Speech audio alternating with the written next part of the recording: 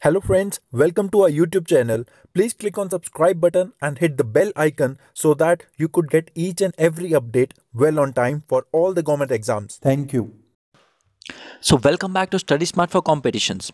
So this video will be regarding IBPS Clerk 3rd December 2017 third slot analysis for pre-examinations. So as we have already uploaded the first slot analysis and uh, we'll be soon uploading a combined uh, combined memory based questions in another video. So stay tuned for that uh, for those uh, videos as well. Let's continue with the analysis of the third slot.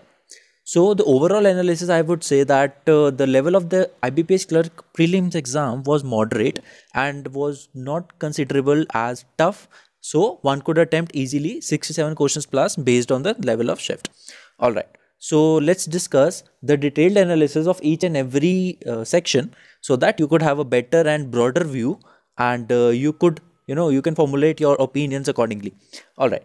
So the reading comprehensions. Reading comprehensions the number of questions asked were five questions and the topic details were the passage was based on machinery reducing job opportunities. There were no no questions from synonym antonyms which are highly predictable. So uh, that was a bit change uh, the next would be fill in the blanks.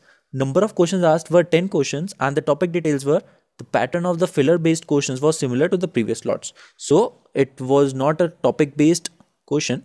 So, alright. Continuing to the next topic of the English section, it's spotting errors. 10 questions were asked for spotting errors and uh, as we know that there was no variation in the pattern of spotting errors questions so student had to only identify the correct part which had no error in the sentence. And uh, that was the pattern which was uh, you know which was observed uh, in the last day and for today as well. The next is the phrase replacement.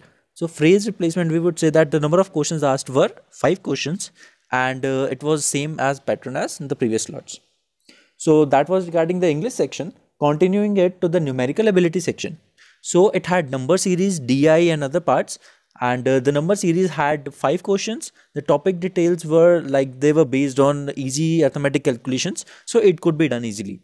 And uh, talking about the di part as it had five questions a tabular graph was given which consisted of uh, data of shops a b c and d which sold the toys in different months. So uh, those questions could not be treated as very difficult and they were easily attempted as per our sources. All right. Continuing it there were simplification or approximation questions that were 15 questions that were actually doable and uh, you could easily do with the help of BODMAS so that was not uh, at all difficult questions. Last part would be miscellaneous questions. And uh, talking about the missed questions there were 10 questions that were missed and uh, that were a bit calculative i would say but it could be done. So that the whole whole section was easy to moderate i would say. All right going towards the last section that is reasoning ability section. So for the reasoning ability questions there were puzzles and the sitting arrangements. So total of 15 questions were asked from the puzzles. And let's discuss what kind of puzzles were there. So one circular arrangement was asked where all the people were facing inside and there was no other parameter. Another was a linear arrangement where seven people were sitting in a single row, four facing north and three facing south. One floor-based puzzle was also asked. So that overall, uh, overall, you know, uh, I mean, overall section uh, could be considered as moderate. Moving on to the inequality, there were four questions asked from the inequality part, and uh, direct questions were there, so it could be easily doable. And uh, the next part is syllogisms. So syllogisms, three questions were asked and it were direct. Next is series based questions. There were 10 series based questions and talking about the details of these type of questions, both the given series were numeric. One series had around 25 single digit numbers and the questions were asked from them. Another series had around 4 to 5 three digit numbers and the questions were asked for them. So it was a bit doable and could not be considered as actual tough.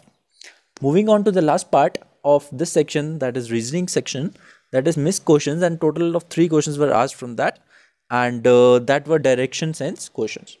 So friends uh, this is regarding the overall analysis of the third slot of IBPS prelim examinations. So stay tuned with us for each and every update well on time and uh, all the best for all your upcoming examinations. Thank you. Stay tuned